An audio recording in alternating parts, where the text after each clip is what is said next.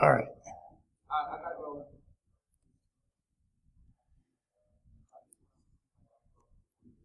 Try this again. it's not whiskey, it's tea. Just to let you know. Because I sound like shit. Um, okay. Uh, first off, I'm going to read off this because when they said they gave me an hour, I was like, shit, I got an hour? You know, how much am I going to write? Well, A lot. a lot. And, um, you know, I passed it by Steve and he was okay with it. So please bear with me for reading off a page. But I'm going to talk about um, espionage in the modern age of information warfare. And uh, as you can see from this slide, you know, there's a lot of different countries, a lot of different entities that are doing uh, espionage. And now that we've moved into the digital realm, they're all in on it as well. But first, who am I? Um, as Steve said, I'm a crabby old bastard online, tweeting about, you know, the insanity of it all. Um, but uh, I've been called a security researcher, and I guess that's the the thing that's stuck uh, the most. Um, and I end up getting myself in trouble a lot. Um, then it ends up in the news, and uh, then I have to banish reporters because, well, except for Steve, because uh, usually I tell them things and then they go, "Yeah, right, okay," and they write something else that you know is a little more sexy. Steve tells is you know tells things as it is. So uh, right now I'm doing uh, OSINT forensics, uh, but in my off hours I do a lot of more interesting things with national security issues. Uh, but the real deal here is that I'm famous in Russia now. Uh, the error you see uh, above is a 451. That's what you get if you try to go to my domain in Russia. Uh, I have been marked either as uh, somebody who's got some copyright issues or I am a national threat. Um, I'm because this is because this is uh, all about spycraft and all of us hacking the things. Um, I'm going to go with national security threat, and um, the reason that I'll go with that more so than any kind of copyright issue is uh, because of went too far. Some of this stuff here. Um, as you can see, Paul Manafort, I found his spool of his daughter's texts that were hacked by uh, Ukrainians and uh, put out in the darknet. I happened upon them and started mining them for all kinds of fun things, including his password of 007. Um, so yeah, I've, I've since the uh, election cycle, I spent a little more time on Russia, looking into what they're doing. I'd already had a, a good history with them, you know, about them. But um, Manafort thing came up. I also found in, a, in another uh, email dump in the darknet a uh, full accounting of how Russia had set up their own kind of like an RT, a press group in Ukraine that was specifically made as a disinformation and um, psyops campaign group, and I got all their uh, financial documents and stuff, put it out on the net. It was sometime after one of those two things, and they came pretty close together when I started writing about them, uh, that the 451 must have happened. Because somebody from Russia who actually reads my blog sent me a message saying, hey, you're blocked in Russia. I'm like, what are you talking about? And he sent me the screenshot. So, gave me, waiting for my polonium enema. Anyway, uh, what is espionage? Since we're talking about espionage, or that's the theme of this uh, conference, I wanted to kind of go back and take a, a broader look at the history of espionage, what it's really about, and how overall we fit into this picture now as security professionals, as hackers. Some of, some of you may in the, in the room might actually work for, you know, the government. So, what is espionage? Well, as Google puts it, it is the use of spies, people, to gather or steal information from others. This has for the most of the time been military or governmental secrets, but that has evolved over time just as the notion of spying or espionage has since the dawn of civilization.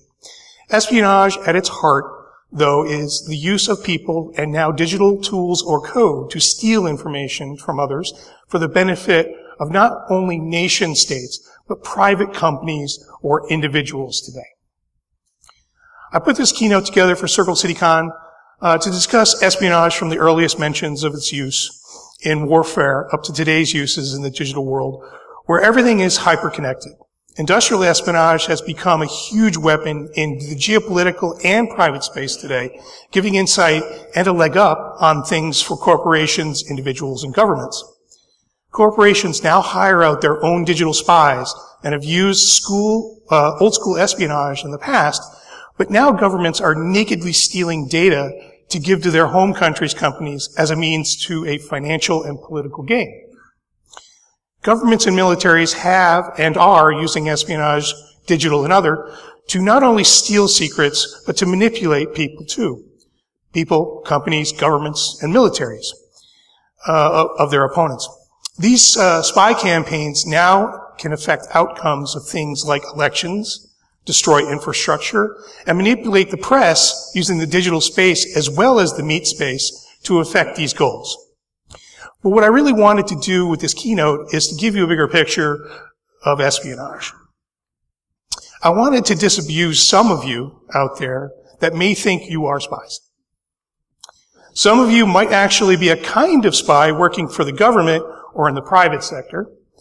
Most of you, though, really likely aren't spies, but instead security professionals or hackers. You aren't James Bond. You're not George Smiley. But you may be on the front lines of a shadow war, and some of you might not even know it.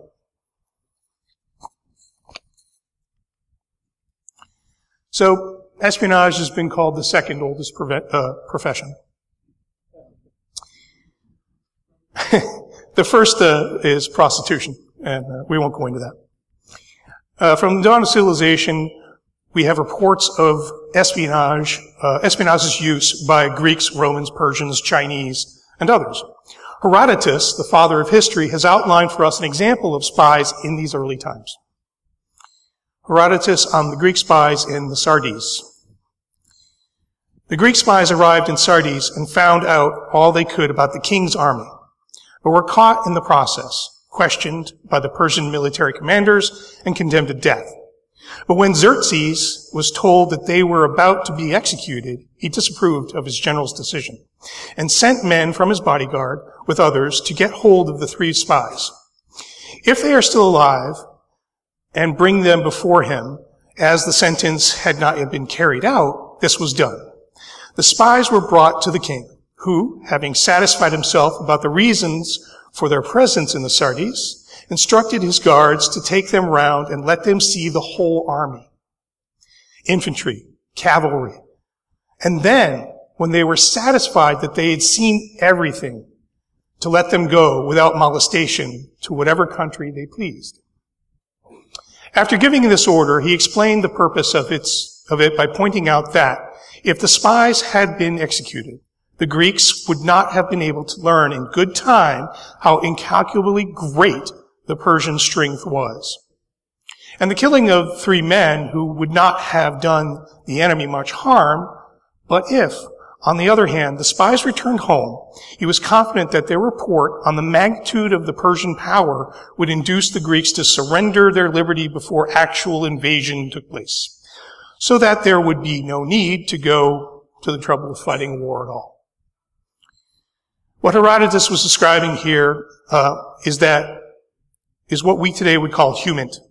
The spies gathered the intelligence of Xerxes' army's strength and reported back to their commanders. Of course, Xerxes was overconfident, and that would be his undoing later by Themistocles, but that's another story.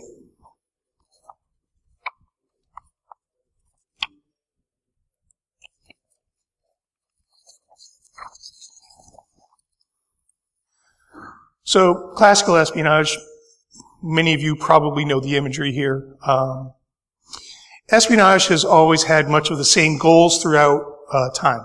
It is to collect or steal information to give an edge to those parties the spies work for. As you can see, it is an old profession by the passage from Herodotus and the Sardes. Many of you are probably more familiar with the more contemporary ideas of spying from the Cold War, or maybe World War II, where the OSS was formed and fought uh, against Germany. The precepts have always been the same and remain so in today's spying, but it seems that technology has allowed for the use of espionage to be a purview not just of nation states anymore, but also of the individual as well. The new barrier for entry in espionage today seems to be to the ability just to point, click, download malware, and send a pre-made phish. HUMINT, on the other hand, is a bit different. Spies before the digital revolution have usually been state-sponsored and of the realm of the secret wars between powers. For instance, if you look at the images on the slide, you will see fictionalized characters from John le Carre's Tinker Tailor Soldier Spy. These archetypes of spies are closer to the mark than the one, uh, than one might think. In fact, Le Carre, or David Cornwell, was in fact a spy working for MI5 before writing his novels. As such, he writes about them in a way that is very close to reality. In a world of spies and espionage before the digital age, it was focused on human, human intelligence, gathering it from people, not just digitally stealing information from a computer. HUMINT is all about people working with other people as sources. To get someone to give up or steal information, insert bad information, or other kinds of operations were the norm. But it was the, for the most part done in person, interacting with people without an element of technology as we do today. The technology relied on then consisted of ways usually to exfiltrate information securely out of the enemy territory or to conceal messages to and from operatives in the field from prying eyes. This type of espionage still goes on today, but, uh, but unfortunately it has taken a backseat to technologies that just carry out the espionage through SIGINT or ELINT electronic information gathering. Uh, and from my point of view, we've lost something. There's, there's much still to be said about human interaction and intelligence gathering, but since the 90s, we have lost our edge. HUMINT is hard, it seems, and there were many kinds of spies needed for day-to-day operations. Types of spies. Spies come in different types. There are varying kinds of tasks that spies carry out. Some collect information by observing and passing it along. Some are out there recruiting to get information and run agents or assets. And oftentimes these two intersect. There are many names for these kinds of spies. Case agents, covert agent, NOC agent. Uh, that's non-official cover. Uh, handler, targeter, etc. The goal of all of them, though, is to gather information to give to the, anal- the analysts who then brief those in charge to help them make decisions in the government. On uh, other non-governmental spies might do much the same, but pass the information on to those who are paying for it privately. Or one could go the ancient words of Sun Tzu, which I'm kind of loath to use Sun Tzu, it's really overused, but uh, and consider the types of spies in this way. This is a quoting from Sun Tzu. What types of spies are there? Sun Tzu had the definition, a definitive answer. Hence, the use of spies of whom there are five classes. Local spies, inward spies, converted spies, doomed spies, and surviving spies. From these kinds of arcane descriptions, though, you can see what he was talking about. There are uh, spies you recruit from the local populace that you're attacking. There are inward spies. Uh, these are the people inside a government or a military. There are converted spies, the spies you catch and then you make them double agents, you turn them. Um, and lastly, you have the doomed uh, and the surviving spies. And, and really what that means is just to, if you're going to burn somebody, you're going to burn somebody and you never had any intention of keeping them around a surviving spy is the one you want to keep. So anybody you're running like an asset in Russia, you, you want to eventually exfiltrate them out because they're worth something and you're actually dealing with them. Today, though, there has been an overuse of the word spy and of the idea of what a spy is. With all this technology, people think that if you penetrate a system, you are a de facto spy. This is not necessarily the case, and as hackers or security professionals, you should know the differences between uh, differences before making the claim. It is also problematic that much of the security industry has a penchant for using military jargon. Espionage terms and ideas have been added to the mix like tradecraft, which for me just makes everything we do a little more word salady. Um, in fact, when you call yourself a ninja, you're calling yourself a spy. Unless you are from Iga or Koga and several hundred years old, you're not.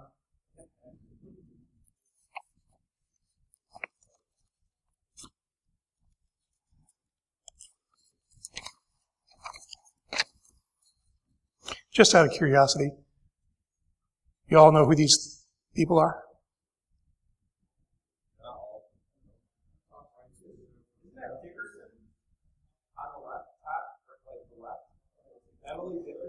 No. That's uh, Valerie Plame. She worked for the CIA as a NOC agent. She was burned by George W. Bush, Scooter Libby. Uh, the one on the right is from the Americans. She's a handler uh, for the uh, Russian agents in place in America. I forget her name in the show. And the bottom is uh, Nada Bakos. And she's one of the ones that helped find uh, Osama bin Laden. She's a targeter. She was a full NOC. And She's a handler.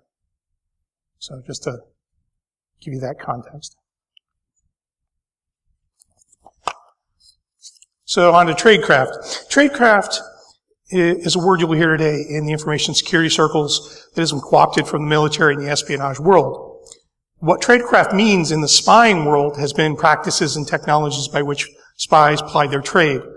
Uh, while the original original tradecraft of yesterday would mean code making and concealment, how to use a dead drop, or how to lose a surveillance team, it has been adapted to the technological means to defeat detection of hacking and, and uh, infiltrating and controlling systems, keeping persistence.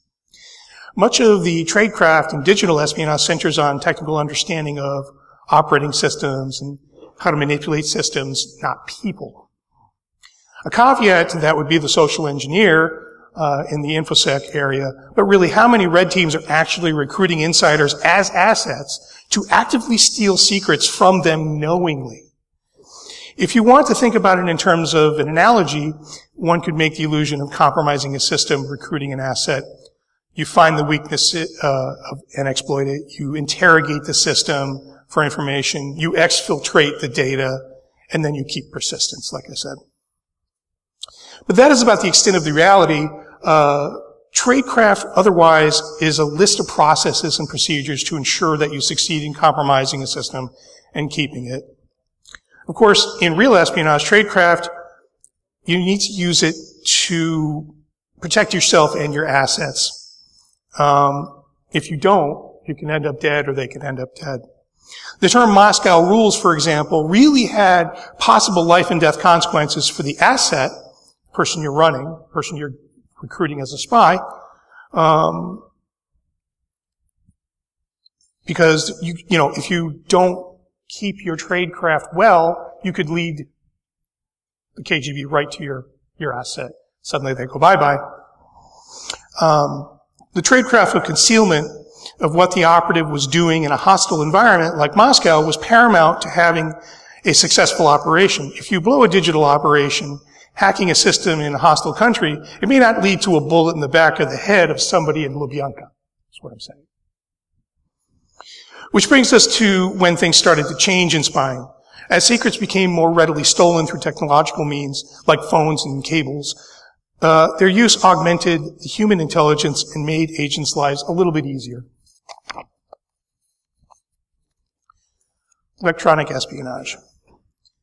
Of course, as technologies came along, the use of them to carry out espionage allowed for a shift in spying the telephone, and the radio both made seismic changes in how we can, uh, collected information, as well as getting it from human sources. Now the pivot was those humans that were not, that were being recruited were also being listened to as well, surreptitiously. Basically, we went from having star chambers opening mail to engaging telecommunication companies like Bell into giving us access to international cable traffic. Secrets were being stolen directly from those who held them without their knowledge, and it was good. Listening devices or bugs became an integral part of espionage, augmenting the information being given by sources and gave us a bigger picture of what was going on in the adversary's camp. Why recruit everyone when you can just implant a bug in their office or get their cables delivered to you from the company carrying them? Does this sound familiar to you today? It seems that this is still the key to much of the espionage we carry out. We listen in or we look over the shoulders of those we want to spy on. It became a passive thing in the sense of, uh, in, in, one sense, and in another, it became an aggressive uh, means in creating a way to hack somebody's data, tap them, and just steal it. Um, activities that before you had to really recruit somebody to get, you know, into a hard target. Of course, one still needed human intelligence agents to sometimes get the bugs into the places where they were most needed. In one case, uh, for instance, the Great Seal of the United States was given to a U.S. ambassador in, uh, to the Soviet Union in 1945 by the Young Pioneers, and that's a uh, like Cub Scouts in Russia, but much more indoctrinating into you know, government. This device housed a theremin listening device made by Leon Theremin, the guy from the Star Trek team. It successfully bugged the ambassador's study until its discovery in 1954. And, you know, basically we got some people coming in saying, here's a present, and they went, great, and he put it in his own study. It's that simple. But it took somebody giving it to him to do it. Wouldn't like, you know, if you just got an Amazon package today, would you just hang it up in your office? I don't know. It was the time when you had to implant devices to listen in. Now you just have to drop code.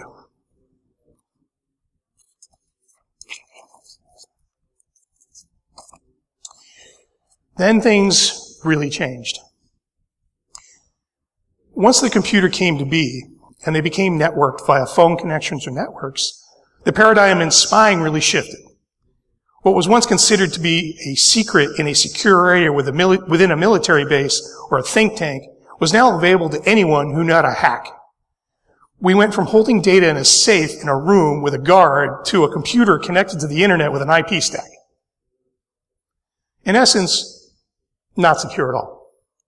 For some reason, we all thought it was secure because it was digital and it was, you know, who could do that? Who could figure that out? At least from the perspective at the time. This changed for many in 1986 when an astronomer named Cliff Stoll found that the computer in his university was being hacked due to charges for time on the system, the mainframe, via the school's accounting department.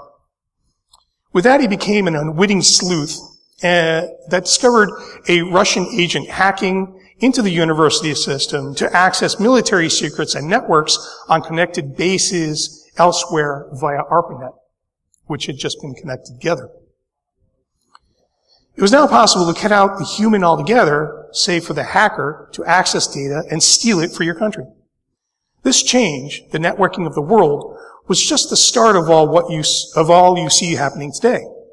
You all out there know what it is like today. Anything networked is susceptible to attack, as well as those in air-gapped systems that someone can physically access, or in some cases, you can listen to and, you know, get the clicks out of a hard drive, things like that keyboard clicks. Any other uh, emanations. Pandora was not only out of the box, she was wreaking havoc every time someone connected a computer to the network or saved a file to a drive. And network they did. From, uh, from early military university networks, we have the internet today. Built not to be secure, but redundant in case of a nuclear attack, and a free highway for adversaries looking to not only steal information, but perhaps now carry out degrade and deny operations as well.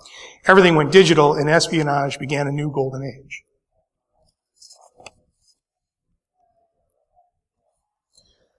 Digital espionage. From all of this connectivity, we have seen the floodgates open to any number of attacks.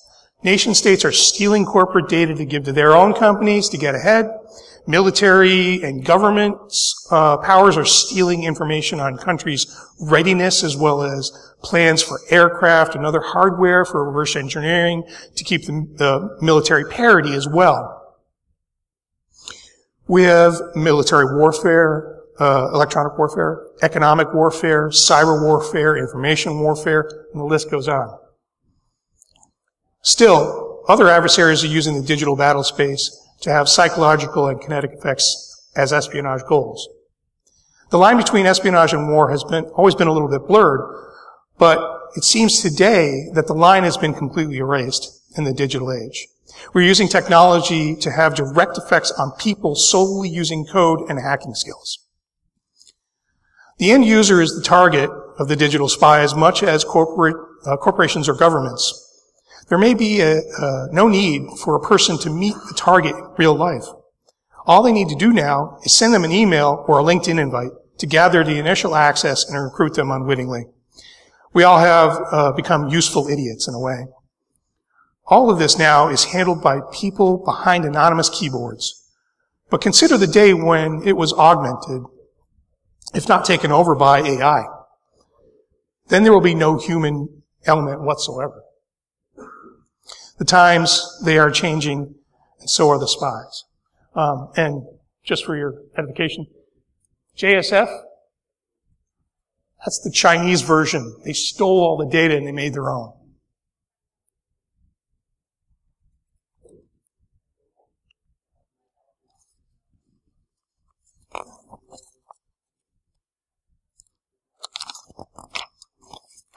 Nothing like going to a Paris air show and seeing your own plane take off with Chinese, you know, symbols on it. Uh, types of digital spies. Today's digital spies come in a few different types. You have those who are actively compromising systems, those who are targeting those systems or footprinting, those who are creating software, and those who are managing the infrastructure. These are all bear kinship to the designations and jobs I mentioned earlier, but for the most part, the only human interaction uh, they have is not with the targets, but instead each other in their teams. It takes a team of digital spies to carry out an espionage operation, and these people work in cells inside agencies like the NSA, the GRU, the CIA. Teams of tech, uh, technical people and logicians work together to compromise systems and networks, to gather intelligence and pass the data to linguists and analysts. These skills are not soft skills dealing with social interactions and methods that a human specialist would use, and as such are quite different from those in the field. For the most part, a TAO operative would not be in the field as much as behind a desk in Fort Meade or San Antonio, reaching out across the world to access networks uh, and data by way of exploiting them. Sometimes, though, there is a, a melding of the two kinds of spies with a, a field operative that has technical skills. Technicians on SSG, which is the Special Surveillance Group at the FBI, for one uh, instance, might have agents who are technically skilled and go out on assignments in the field. CIA Technical Services Group as well would have these kinds of people able to go on site and access a system as part of a team However, they would not be out recruiting human assets and carrying out tradecraft other than technical operations. Of course, all of these examples are from governmental agencies, nations against nation spying, which makes them spies because they are governmentally sanctioned and work for the likes of the CIA or the NSA. This is a key difference between our community and the real world of espionage. We may have some of the same kinds of players digitally, but we aren't actually spies. Um, unless you're, I would say, working for a government agency or even a private agency that's you know, kind of um, affiliated or off the radar, off the reservation. You want where, where you want to call it. Um, because you're, you're, getting into illegal territory. Assets uh, who can be passively listening or actively exploiting things too. Active and passive espionage. For a long time, the use of espionage, both digitally and analog, had been more passive. Stealing data from, had been the mainstay of many nations via hacking. Lately, though, that bit has been flipped by the likes of Russia to a more forward footing. As you may have heard, the term active measures are new, the new rage. And with that, both sides of the coin are leveraged. You steal data and use it actively to affect outcomes. In the digital space, it, it, may be easier to affect greater change or cause damage due to asymmetrical, the asymmetrical nature of the medium. In the case of Stuxnet, the US, Israel, and Britain managed to affect the political and technical landscape of Iran by sabotaging their ability to refine radioactive materials with malware. Code prevented the Iranian regime from becoming a nuclear power for years. It set them back uh, two or five years. I can't remember the exact uh, measurement that they gave. Russia has used code to attack the grid system in Ukraine and disrupt their election systems on election day. Other countries have attacked banking systems like the Iranians in reprisal for Natanz too. The switch has been easier to flip from passive intelligence collection to active measures and kinetic outcomes from the use of networks and code because everything connected is vulnerable now.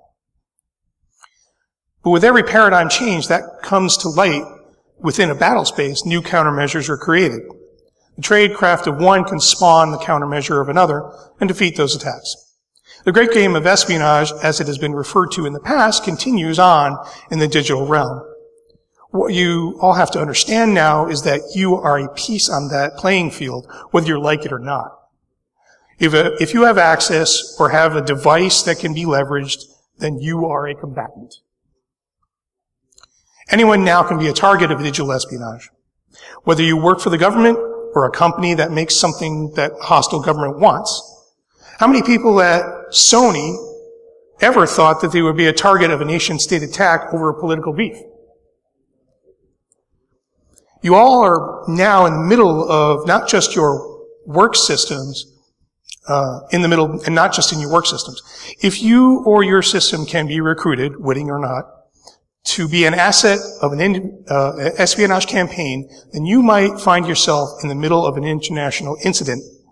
The targeting also can just be digital, not just digital, but human as well, even today. Human is still very important, even if many are not enamored with hacking to see it. So on to human again in today's world. So human intelligence. In talking about uh, digital espionage, I want to also cover this, that sliver of area where human still plays a role in espionage in the digital sphere. A primary area that I am acquainted with are the terrorists on the internet. Many of these players are not digitally as savvy as most, which is changing, but are online trying to hide their real identities while posting all kinds of crap. These kinds of operations require using social engineering as well as other technical and social tradecraft to insert yourself into their networks, recruit assets wittingly or unwittingly. This can also require the technical skills of a hacker to attempt to compromise their systems or to track them online. So we're seeing this merging of uh, abilities. The same soft skills are still, use, still in use by traditional espionage that not only play out in the digital realm, but into the meat space as well.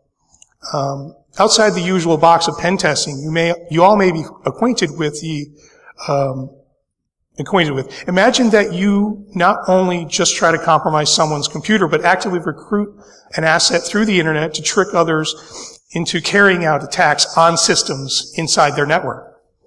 Kind of like phishing, but a little more active.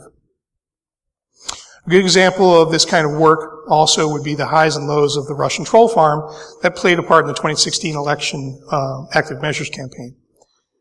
While the depth of the asset management and soft skills may not have been as deep, there were times when the targets, when the agents of the IRA were actively recruiting people on Twitter and Reddit uh, as well as an email to actions in the real world.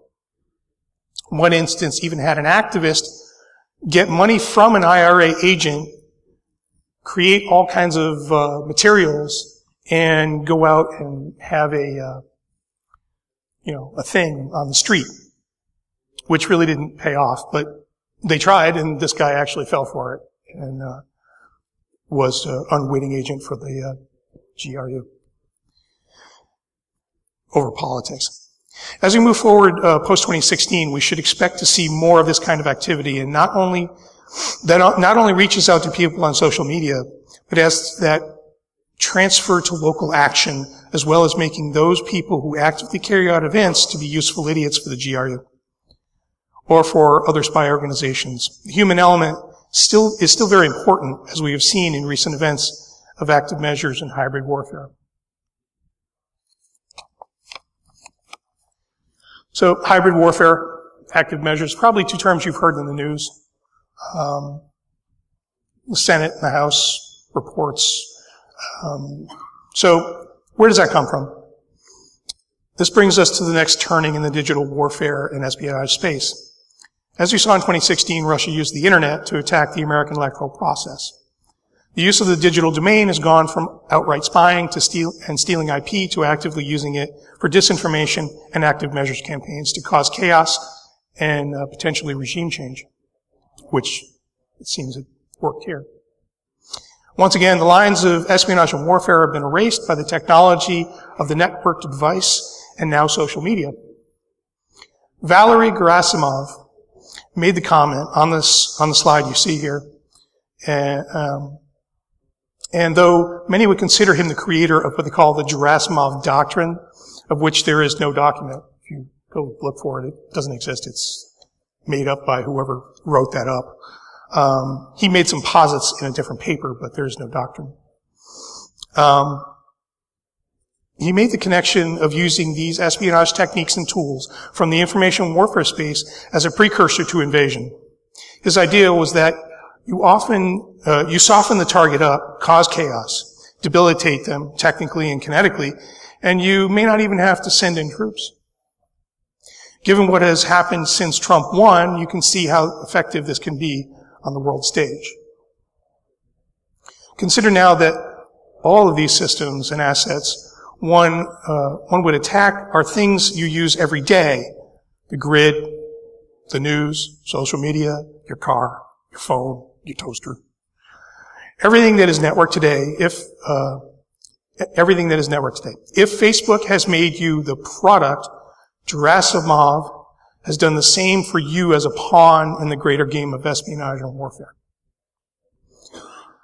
So it is no longer just your phone, your computer, your toaster, or your car that is the uh, target of this kind of espionage and warfare It is now your psyche and your ability to reason.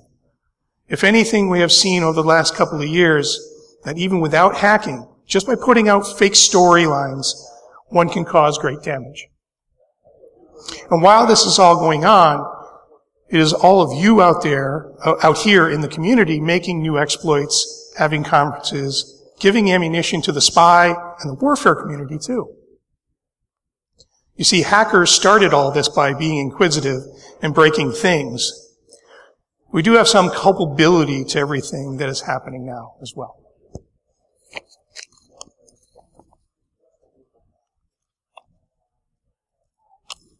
Which brings me to hackers and spies. So here we are in this conference today, themed on spying. And you might be thinking a bit differently about what spies are and what technology has done to espionage. You here in this audience are not average users by any means. You are a harder target for espionage on average, but you are likely more susceptible to being targeted by a nation state because of your skills. Some of you might be thinking out there right now, who me? I just work blue team for Staples. But the reality is that if you hold the keys to networks, that have access to information that an adversary wants, they will attempt to leverage you as well as the average government functionary. Given some of the phish that are out there by adept adversaries, can you even say for sure that they have not tried to get you? Have you detected their attacks? Have you stopped them? Is this even something that you've considered? Those out there who are doing pen testing and red teaming, you too could be a target. In fact, you might be a high value target for a nation state. These spies might not only use technical measures to attempt to steal from you though. You might have an actual asset they would like to recruit and you might not be even know that you're it. In fact, if you've been to DEF CON, you have likely come into contact with spies from ours and other countries. That guy you might be drinking with and going clubbing with could in fact be a traditional spy, trying to see if you are worth recruiting and recruitable. In another way, what if you work daily on making exploits or testing for vulnerabilities on common systems? Would you not be a tasty target for a spy plot to steal your O-Day or recruit you to make something new, something for a foreign power? It's not inconceivable, really. In fact, a few years back, a bunch of hackers attended a party in Vegas for DEF CON. What they didn't know was that the party was hosted by a hostile foreign power looking to see who they might recruit. Hackers, hacktivists, security researcher, all are targets of espionage. Activists and spies. This is where it gets fun. White hats aren't the only targets of nation state uh, might want to attack or recruit. Those out there who are part of the arcology of hacktivists are prime targets for espionage. These actors can be used to gather intelligence, be used to use as cutouts, or emulated to make an active uh, measure or campaign look like it was them instead of the nation state that actually pulled it off. In the case of Anonymous, there was a subset that have taken on the name and the methods of Anonymous to further their own political agendas, such as the jihadis of the cyber caliphate or non-ghost. They have many names, but in uh, some cases, their names are only covers for operations of the GRU. Hacking into facing pages for political giggles could also be used as disinformation campaigns by the likes of Russia or anyone else who deems it useful uh, to scapegoat them and to make a, a statement. Enhance their scare factor, let's say. Sometimes active groups are infiltrated digitally as well as literally by individual spies to gather intelligence and affect operations. Sometimes those spies are actually double agents like Sabu, who took down Lulzsec as a cooperating informant and actively worked with the FBI to collect intel on all the players and help them arrest them all to stop them from causing more damage. It turns out that in Anonymous, you really aren't so anonymous. And that can lead to double agents putting you in the pokey. The same can, uh, bad outcomes can happen when a nation state uses you for their own purposes and you later get out of, uh, get put in prison for hacking something that someone you thought was on your team told you to hack. Kind of like what happened with Lulzsec. Consider this too. WikiLeaks started out as a self-proclaimed force of good. It has since been co-opted by the KGB. I still call them that. They're not the FSB. They don't change their spots. And Russia as a tool of propaganda and active measures against the U.S. in a hybrid war. All you, all of you could be used in the same way.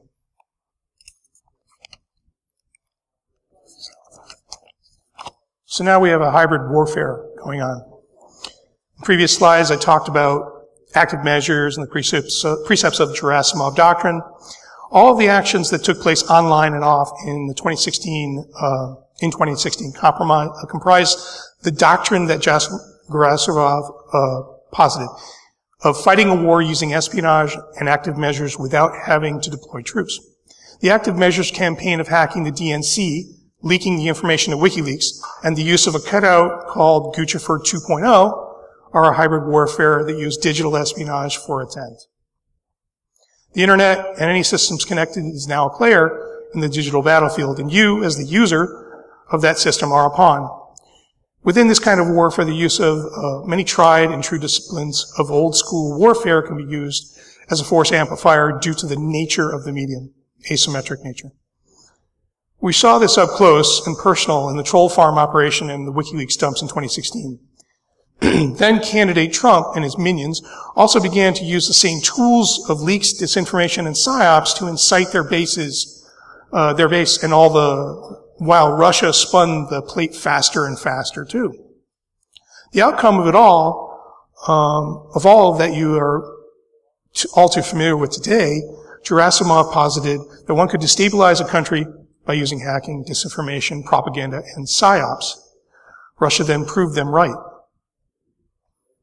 The twist with the, the Russians was that they mobilized all this data that was stolen along with cutout accounts on social media to carry out disinformation campaigns or desinformation against the U.S. and our electoral uh, system at large. Disinformation that, according to James Clapper, uh, likely turned the corner on Trump winning the electoral college by engaging his base and inciting the spectrum of people in the U.S. Clapper's comment recently, uh, not the government line, but he's a private citizen now. So if you're paying attention to that whole debate, um, it's easily conceivable that Trump's electoral win, which was very slim in the sense of, you know, 80,000 80, votes, I think it was, that all of this disinformation, all the active measures could have turned that tide. Everyone seems to be focused on, okay, well, they hacked the election, election systems, the, uh, the websites, they had the access to the, the voter rolls, but there's no proof that they did anything else. So disinformation, I, I, don't know how many of you are familiar with the term and the, you know, the actual sense of it being used uh, in a military uh, kind of milieu, but the definition of disinformation is the use of false information that is intended to mislead, especially propaganda issued by a government organization to a rival power or media. What was once a problem for the news media, disinformation in the digital age, has broken out into being mean, a means that everyone with a computer, a blog, uh, a phone, can disinform the masses with, for their own purposes. So you can carry out your own disinformation campaign if you want. You can buy a bunch of bots, do it. Uh, I personally have done it small, small use against uh, some people, but you know you can do it. Daily now, the President of the United States uses Twitter to disinform his constituency, emulating the narratives of Fox News, Reddit threads from the likes of QAnon, and others attempt to pass off bogus stories as reality and inflame those who are willing to believe them into action at the polls, at the very least, and at the worst, into physical action. Some of the attacks we've been seeing, stuff that happened in um, North Carolina. Disinformation in the new digital age uh, of espionage entails not only manipulating social media narratives, but soon enough, if not already, inserting fake data into them as well in hopes that no one would be able to deny the, their false nature. In point of fact, of the data dumped by Guccifer 2.0 contain, uh, contained fake documents inserted into the dump to disinform people about Hillary Clinton as well. It was only once the metadata was checked that the fraudulent claims were um, deflated. All of this is happening online in your space and is fairly easy to carry out uh, as an actor with some money and some time. Russia so far has been the preeminent user of these tactics and methods, but soon enough others will follow suit. Of course, others may be a bit more subtle about, about it, and who knows, what the fallout might be from a greater campaign carried out by uh, some other well-funded government actors. All of this made, uh, all of this though is made easier because the digital medium is a mystery to the general populace who are unable to or unwilling to dig further for the truth.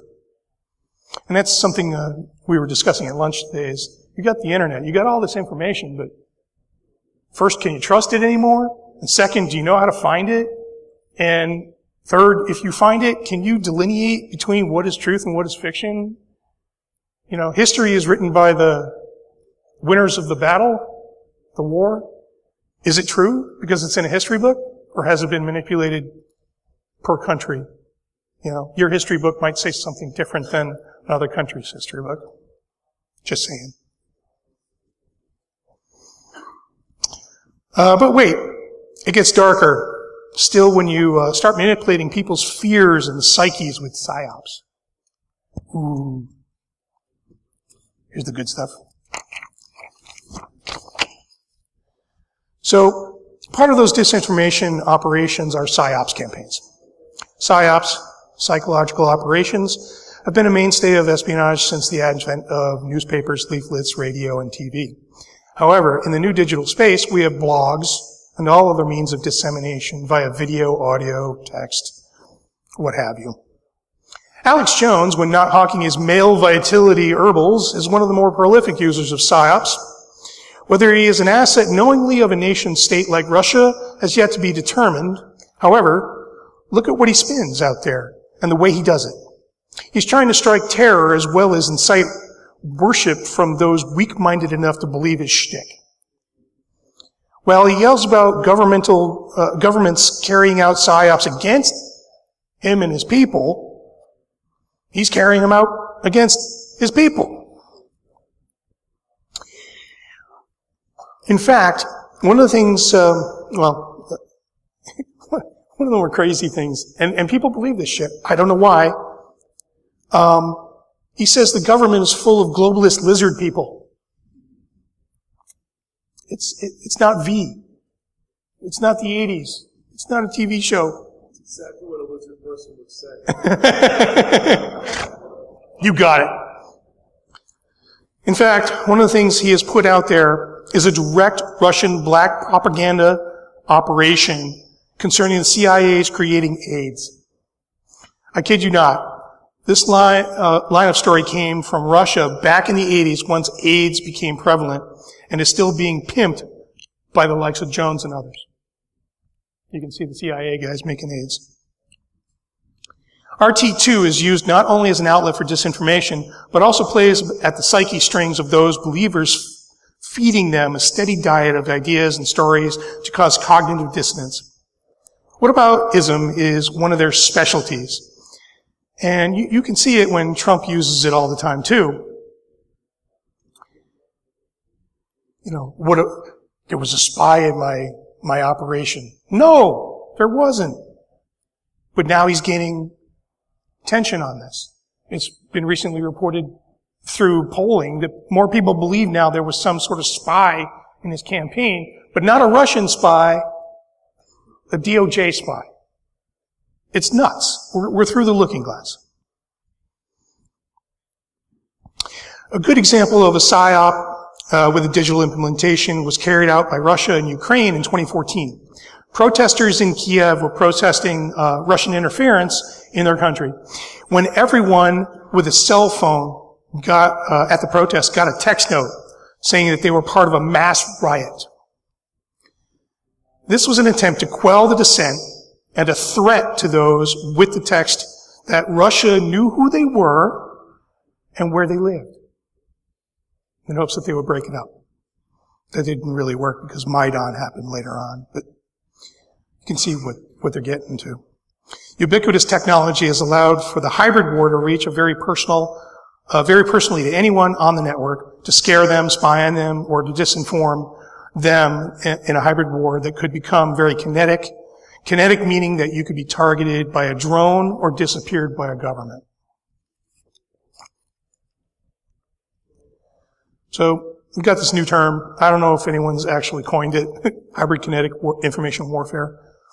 I detest the word cyber trying not to use it. I don't think I used it too much here. Um, it means sex. It's not, okay? So where is all this going? With the tools and techniques of hacking and espionage in tandem with the disinformation and kinetic attacks via digital domain, we have ourselves in an existential crisis.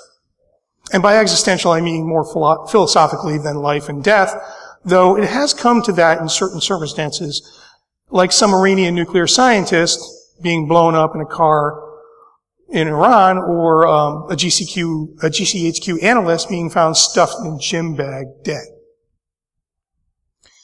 With all these tools in the hands of those actors, nation state and other, we could be in a real, we could be in real trouble here.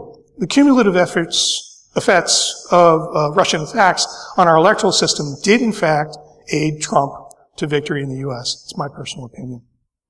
The outcomes of that election are still being played, but inasmuch as much as they are, uh, they've been seen so far, we have become a weakened power on the world stage and are still too fragmented to really effectively wield power during and after his reign. Um, one caveat is this morning or yesterday, it was yesterday. I was, I was uh, in between flights and heard that he had decided to ban all BMWs from being sold in the United States. And this huge tariff war. And he's just fucking nuts. But by doing all of this, it places our ability to project power in the world or to work with other countries to project power on other nation states that are like North Korea, it's all being fractured. And the chaos is everywhere. He is a chaos monkey. What else might an adversary like Russia do given that these measures have worked so well and that the means to counter them seems to be so non-existent? The norms over cyber warfare, there's the cyber, or information warfare are, are as yet weak, and it seems like in our current state we'll be unable to complete uh, them and promulgate them to the world because of the fractious nature of today's political landscape. Indeed, it all can go very kinetic now from the digital space. Everything is connected. Uh, everything's hackable, right? Some of these stories out there are true that you could actually blow up pressurized tanks of oil or other flammable liquid, liquids by messing with PLCs. You could probably cause deaths abusing technologies by hacking them and inserting code just as much as digital GPS data gathered uh, live from a phone.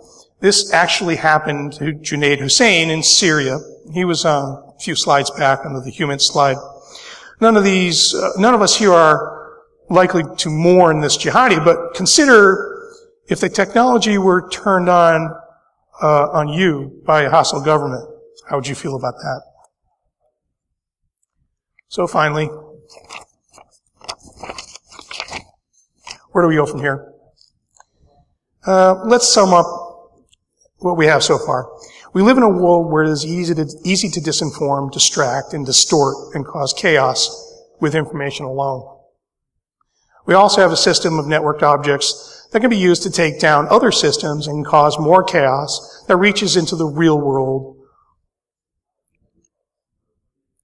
It can affect by denying access to resources like telco and power, and be without power. So there's a, a real, real life element that you're starting to see, although, I mean, Ukraine is probably the best example of taking a grid down almost completely. Here it's a little more difficult because of so many different companies. But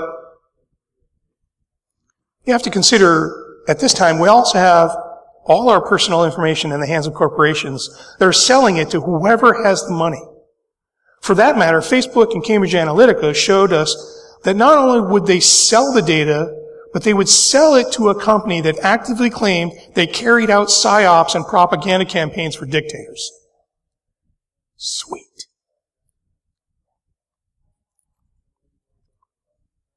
Plus, when the information isn't being sold for profit, it is being stolen by the likes of uh, nation states like China for their own purposes of espionage from places like OPM.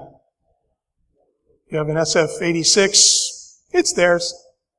They know where you live. They know who, who your relatives are. They know all of it. We're also, uh, we also seem to have a problem with persistence of anonymity and privacy as well. That said, same information uh, that is being collected, sold, and stolen by all kinds of actors seems to be the standard now, even if we don't want the custodian of the data to keep or sell it in the first place. Even recently, the notion of live GPS tracking of our phones being sold to whoever paid for it is in the news as a company has been doing so without thought about privacy implications at all. We are, my friends, in a digital panopticon, subject to espionage, theft, misuse, and now active measures by foreign powers in digital wars we did not sign up for. These are being actively leveraged against the general populations now because of the technologies we all carry and are all slaves to. We are the product for corporations while we are the targets for those actors who want to spy on us, manipulate us, and carry out various kinds of warfare against us. Welcome to the great game of digital espionage, my friends. Maybe it would just be better to play a nice game of chess. That's it.